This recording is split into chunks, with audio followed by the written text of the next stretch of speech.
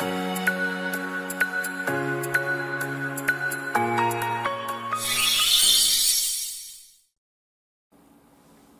い、こんにちは、レッドスノームです。今回なんですけども、請負の報酬について解説いたします。民法633条と634条ですね。で、633条っていうのは、まあ、請負がどういったものなのか、で、634条が請負の報酬についてのルールとなっております。で、まず、請負って、えー、どういったものなのか、請負契約ってどういったものかっていうと、注文者と請負人の契約なんですね。で、注文者は報酬を請負人に払います。で、一方で請負人は注文者から依頼された仕事を完成させる。まあ、この二つを約束するんですね。請負人は仕事を完成させる義務を負いますよ。注文者はそれに対して報酬を支払う義務を負いますよ。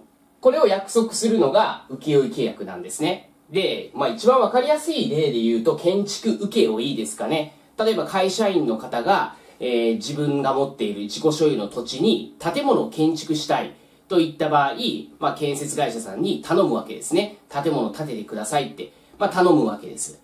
で、建ててもらう。これ建築請負契約なんですね。この場合、注文者は会社員です。で、一方で建築会社さんが請負人になります。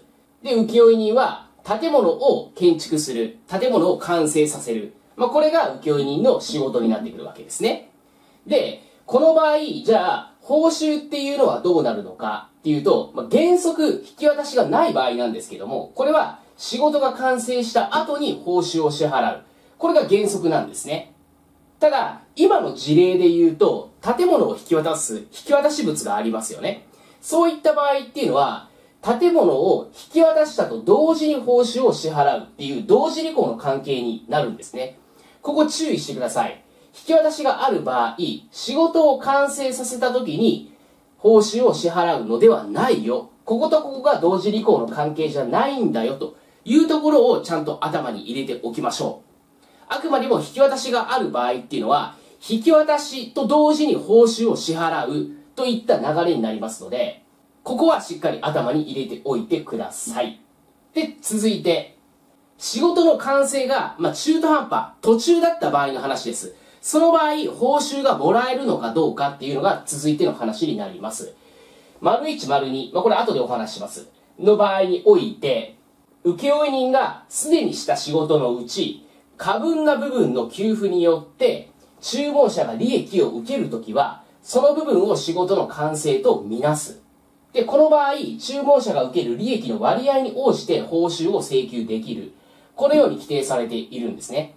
で、1番、2番ってどういった場合かっていうと、注文者の責めに帰することができない自由によって仕事を完成することができなくなったとき。2つ目が、請負が仕事の完成前に解除されたとき。まあ、この場合ですね。この場合に、まあ、途中、仕事が途中であったとしても、その途中までの部分を注文者に給付する。まあ、給付するって、ま、引き渡しをするっていったイメージで大丈夫です。引き渡しをすることによって注文者が利益を受ける。まあ、そういった場合っていうのは、その利益を受けた、注文者が利益を受けた部分の割合に応じて、報酬を請求できますよ。請負人は注文者に対して報酬請求できますよ。っていう話なんですね。で、過分な部分ってどういったイメージかっていうと、例えば、翻訳100ページを注文者が請負人に対して依頼しました。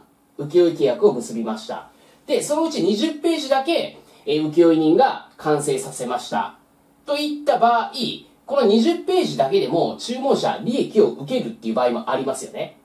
100ページのうち20ページだけでもやってくれたっていうのであれば、この部分だけでも利益を受けるといった場合は、その部分、20ページ分だけ報酬を請求することができますよっていったことです。例えば、100ページの翻訳について、えー、まあ、100万円だったと仮定した場合、20ページってなったら、じゃあ20万円だけ報酬請求できますよと。まあ、いった内容になるんですね。まあ、こういったものが過分だっていう話です。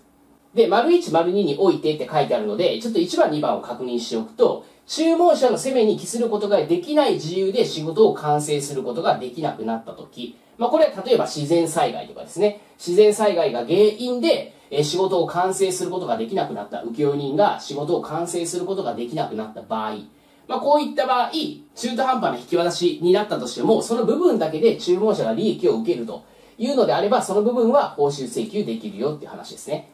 で、二つ目が、請負が仕事の完成前に、まあ、解除された場合、まあ、これ理由を問わないんですよね。例えば、請負人の履行地帯が原因で解除になった。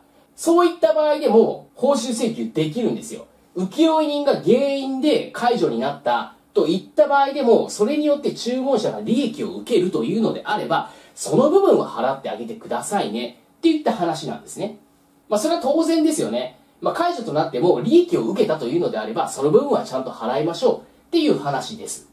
なので、ここはちょっと注意が必要なんですよね。請負人が原因で契約解除になった場合でも、報酬請求できるんですよね。注文者が利益を受けるというのであれば、報酬を請求することができるので、この点はちょっと注意しておきましょう。まあ、試験でも出る可能性があるかなっていう部分ですね。引っ掛け問題で問題作りやすいので、この辺はちょっとしっかり頭に入れておきましょう。あとここですね、引き渡しを要する場合、報酬を支払う時期っていうのは、目的物の引き渡しと同時に報酬支払うんだっていう、ここが同時履行の関係にある。まあこれはしょっちゅうね、試験にも出てくるので、まあこれはちゃんと頭に入れておきましょう。そして最後に、弊社レトスは現在短期集中実用カップ講座を開講しております。これまで勉強してきたけども実力がつかない。どうやって勉強したらいいのかがわからない。試験日までの計画が立てられない。わからない部分について質問がしたい。忙しくて時間がないけど今年絶対合格したい。もしそう思っているのであれば、短期集中実用カップ講座であれば、今お話しした5つの課題全て解決することができます。無理なく、無駄なく、効率的に勉強していくのが短期集中実用カップ講座です。一緒に勉強して合格を目指しましょう。あなたの受講お待ちしております。短期集中実力アップ講座はこの動画の下の概要欄に URL 貼っておきますんで、ぜひご確認ください。あなたの受講お待ちしております。